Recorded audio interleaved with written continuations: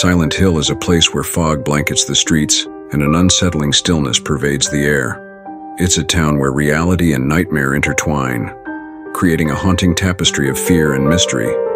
The abandoned buildings and deserted roads tell tales of a past steeped in sorrow and darkness.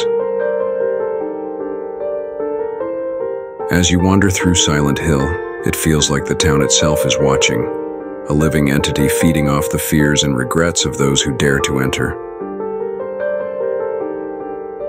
Shadows move where they shouldn't, and whispers of lost souls echo through the fog, reminding you that in Silent Hill the true horror lies not in what you see, but in what you can't escape within yourself.